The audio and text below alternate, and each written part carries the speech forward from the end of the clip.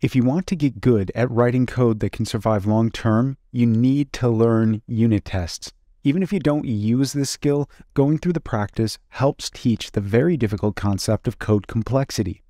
I'll go over the basics here, but I recommend watching the follow up videos on test automation as well. In Unity, I'm using 2021.3 LTS.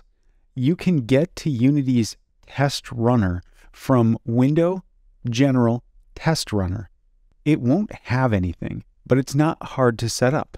From the project view, right click on any folder and say Create, Testing, Tests Assembly folder. This generates a folder called Tests and puts an assembly definition inside. You could do this manually, but there are several configurations to the assembly definition file, so it's easier to use the tool instead. If what you are testing is in an assembly definition already or needs to reference others, then you will typically add the references here. However, if you need to add a bunch of references, then you're not likely using Solid very well, which uh, to a certain degree is a must for test automation. Next, right click on the folder and say or select Create Testing C Sharp Test Script.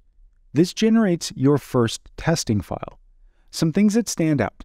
You are using nunit.framework and unityengine.test tools. If you have familiarity with NUnit, you will find some other attributes here like setup and teardown. Another thing is that you'll see an attribute test over the method and also unity test. To keep things short, we will cover unity test, the unity test attribute in another video.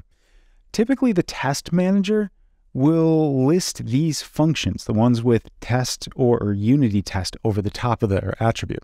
If they throw an exception, then the test case will fail. If they don't error out in any way, then the test is considered good. The structure here is project name, then assembly definition name, then class name, then test method names. I'm looking at new test script. At the top of the panel, click Run All. It should have been pretty quick because this is not loading your whole game. It's just validating a tiny part you can see that it failed for one of them and the other succeeded. If you click on the part that failed, on the one that failed, you will see why. Because there was a system exception. As long as it doesn't throw an exception, the test passes.